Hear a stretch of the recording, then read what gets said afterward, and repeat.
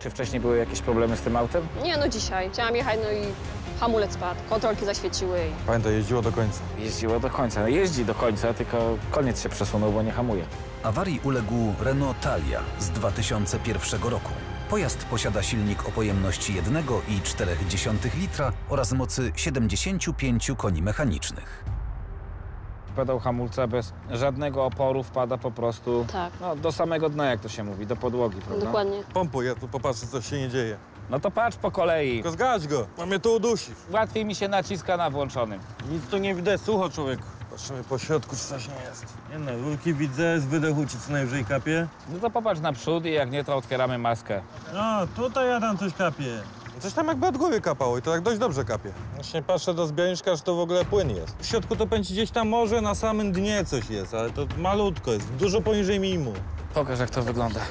Dolać płyn to nie jest problem. Problem polega na tym, że gdzieś ten płyn nam ucieka. Zbiornik sam sobie jest suchy, więc on nie jest szczelony, nie jest pęknięty. Nieszczelność mamy gdzieś, gdzie indziej. Poniżej zbiornika, jak widać tam jest wszystko mokre, to jest mokre od płynu hamulcowego. Będzie trzeba tutaj wszystko wokoło Tak, rozbrajać. rozbierać i się dostać. Dostać się niżej. Sama już teraz pani widzi, że szybko to nie będzie. No jest bardzo źle. Tomek rozkręca kolejne części, żeby znaleźć źródło wycieku. Proszę mi powiedzieć coś o tym pani sporcie. Pole dance, tak? Niektórym się kojarzy to z tańcem na rurze, ale to nie jest taniec. Mój sport polega na gimnastyce na rurce. I tak pani pewnie... Różne figury. Co jest takiego charakterystycznego, co wyróżnia pole dance od innych tańców, które się wszystkim zawsze kojarzą z jednym? Głównie to, że to nie jest taniec, bo są różne gatunki. Jest polo, erotics, tam jest taniec, a tu jednak nie jest taniec, tylko sama gimnastyka siłowa. Jak ja bym się na takiej rurze uwiesił, to ona by wytrzymała? Spokojnie. Słyszałeś, Tomek? Co? Pani mnie bierze na testera, czy rura się trzyma porządnie. Wystarczy, że się na niej powieszę, wiesz? Jak ona wytrzyma, to już całe zawody się mogą odbyć. A, okej. No, widzisz, wyście sobie pogadali, ja sobie przynajmniej rozebrałem. Jeden wielki wyciek. Tutaj wszystko jest po prostu mokre. Ten wyciek to nie jest takie, że coś kapało, tylko po prostu to się już lało. Wszystko pływa. A najgorsze jest to, że dalej dokładnie nie widać skąd. I tutaj na pewno nie wystarczy dolać płynu i jechać. Tutaj trzeba znaleźć przyczynę tego wycieku, a dokładnie jego miejsce. Proszę zobaczyć, jak to jest wszędzie mokro. To jest wszystko płyn hamulcowy. Tutaj powinna być idealna susza. Także to nie jest łatwa sprawa, ani szybka sprawa. To może po prostu spróbuję jeszcze raz, wiesz, nacisnąć pedał hamulca, może po prostu zobaczymy, skąd kapie, prawda? No to spróbuj. I? Nic to nie, Adam, się nie dzieje. No wiesz co, ja już nie mam wspomagania. Ja widzę, jak ty czego pchasz, bo aż całą pompą ruszasz, więc ja widzę, że tam się przykłada. Adam, jest, poci się pod pompą. Na połączenie pompy serwem. Sytuacja jest bardzo poważna, bo jest wyciek gdzieś spod pompy hamulcowej. Dokładnego takiego miejsca nie potrafimy pokazać, ale pompa wygląda na to, że sama w sobie jest nieszczelna. Pompa hamulcowa odpowiada za wytworzenie odpowiedniego ciśnienia w układzie hamulcowym. Gdy pracuje prawidłowo, kierowca nie musi używać dużej siły nacisku na pedał, żeby skutecznie zatrzymać pojazd. W momencie, gdy pompa jest nieszczelna, pedał całkowicie zapada się w podłogę, a jego naciskanie nie powoduje wytracania prędkości. Co robimy teraz? No naprawiamy. Trzeba zdemontować pompę hamulcową i będzie trzeba ją wymienić. No, ze zbiornikiem to mogą być jaja, bo wiesz, jak to jest mocowane. No na wcisk, więc y, tak naprawdę przygoda się cały czas, można powiedzieć, zaczyna. Tomek demontuje uszkodzoną część. No i co, pompę mamy w komplecie, tak? Dobra, to jeden spróbuję wyciąć ten zbiornik, No to choć dawaj, się nie? martwię, czy on w ogóle To wyjdzie. czekaj, to ja ci to trzymam. Zobaczymy, czy my to w ogóle podważymy. Nie no, ale wiesz, że go nie możesz tutaj uwalić. No, To ja wiem o tym bardzo dobrze. Bo to, wiesz, że zbiornik to jest zbiornik, pompa to jest pompa. Nie no, takim, Tomek, może to jest... Poczekaj, no ale no... z- Adam, z wyczuciem, No, z spokojnie. wyczuciem, ale Tomek, twoje wyczucie to jest twoje wyczucie, ja w nie wierzę, tylko to jest tak stare, a my nie możemy tego urwać. Staram się ile mogę. To się trzyma tutaj upie od daty produkcji tego na, auta. Na głównie i patykę wiem, o co ci chodzi. Jeden, Dobra, jeden jedno jest. wyszło. No to tylko jeden się złamie jak coś, nie? O, mamy go. Nie widać tu jakichś ewidentnych pęknięć czy ukruszeń tego plastiku, więc zbiornika bym się tutaj nie czepiał. Zajrzyjmy, Adam, co ona ma w środku. Ja czegoś takiego ewidentnego to tutaj nie widzę. To jest, wiesz, zwykłe zużycie takie, moim zdaniem, eksploatacyjne. No dożyła swojego wieku, tak? No tak. Można by było sprawdzać, czy tutaj wszystkie uszczelnienia trzymają swoje wymiary. To, to nie są tematy, które można tutaj rozwiązywać na kawałku szmatki przy aucie klienta, który się śpieszy, nie? Jest ewidentny, wiesz, wyciek.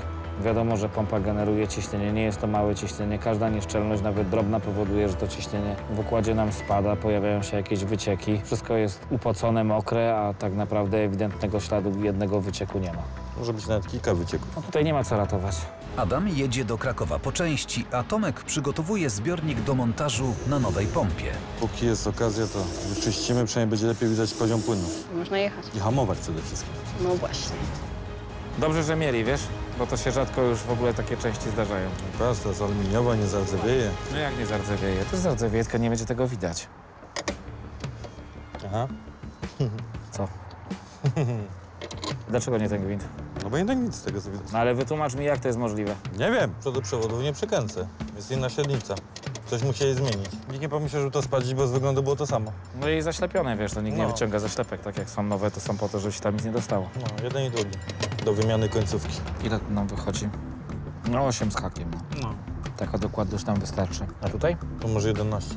No. To jest dwunastka chyba. No i trzeba zabrać przewody na nowo. Te końcówki hamulcowe, które tutaj są, no nie damy rady ich wkręcić, widzi pani. No, po prostu o, wpada i wypada, tak? Widocznie gdzieś nastąpiła jakaś zmiana konstrukcyjna później na etapie produkcji tego auta. Ta pompa była jeszcze stara, zamontowana przed zmianami, no i w ten sposób gdzieś doszło do takiego drobnego nieporozumienia. Pocieszyć mogę panią tylko tyle, że damy radę to zrobić tutaj, więc jest całkiem dobrze. Tomek zarobił przewody i zainstalował nową pompę. Pozostało odpowietrzyć układ. No to teraz przystępujemy do mojej ulubionej czynności. Będę naciskał i puszczał pedał hamulca. Bardzo lubię to zajęcie. Relaksuje mnie, odstresowywuje. Wszystkie koła musimy? No niestety. No ale nie ściągasz koła, czy musisz ściągnąć? Z tyłu muszę ściągnąć. No to pompuj. Nie mogłam się doczekać, aż mnie do tego wezwiesz. Po kilkunastu minutach układ jest odpowietrzony.